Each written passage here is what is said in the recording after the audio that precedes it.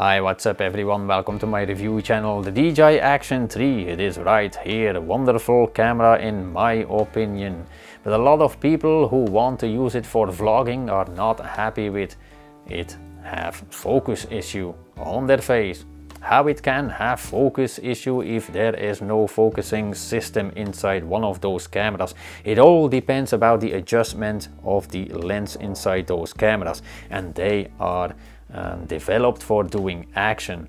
You know, it's kind of normal that everything in the background is much more sharper than everything what you are filming close by. The GoPro Hero 11 scores a bit better for filming yourself, but still you can get it in a way much more sharper. The good news is of course in this video I'm gonna show how you can adjust the lens inside your action camera that will make everything on your face crystal clear. Only the background will a little bit, it will be not blurry, but it will will be a little bit unsharp in the background just like one of those normal bigger cameras. Here we go. Or DJI Action 3, make sure you place it on something soft for no scratches. Next thing, a little piece of tissue and the best option is of course um, yeah cotton cotton is the best option to adjust the lens it sounds crazy but you are going to need one of those tweezers and this is one for feeding crickets too, reptiles. If you don't have one of those, you can find them online. They don't cost that much money. And I don't recommend to use any other tool. Don't start to think about to, um, yeah, take out your pair of pliers, you know. This is safe, guys. Here we go take off the protective cap. If you have one of those ND filters, just take them off as well. Take your piece of cotton place it over the lens and over your screen.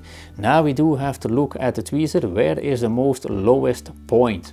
It is somewhere here to make sure you do have the best grip when we are placing it over the lens and look how uh, good grip you do have immediately. So you give power when you push down and when you close it.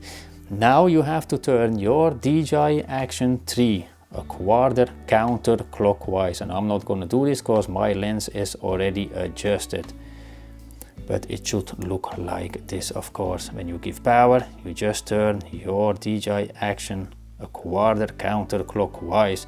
If you turn it in the wrong direction don't start to panic guys. Just turn it back where you started and then turn it counterclockwise. And this is it guys. This is how you adjust the lens to make your face crystal clear on the DJI Action 3 Air, basically on any action camera because the system is all same of course and this is how my footage look after the adjustment of my lens.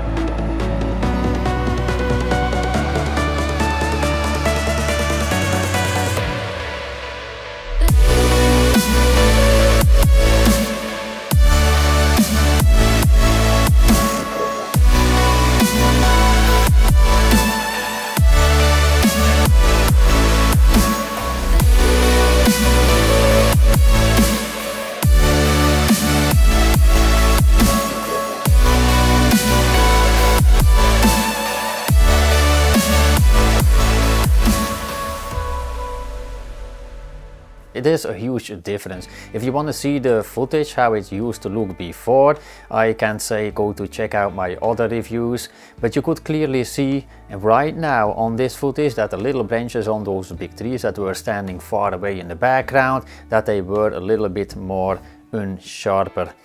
It's not blurry, but a little bit more unsharper and they used to be um, without the adjustment crystal clear. But this is something what you have to accept if you bring the focus range more forward to make your face uh, crystal clear then the background will a little bit less sharper of course. Don't send your DJI Action 3 to DJI cause the only uh, conclusion will be that the issue is not going to be fixed. You have to do it yourself. But all by all I think for those people who want to use one of those cameras for vlogging it's absolutely worth Alright guys, I'm gonna end up this video here. Thank you for watching. If this helped you out, give it a big like. If you are new, subscribe to my channel and then I see you on the next review. Bye bye.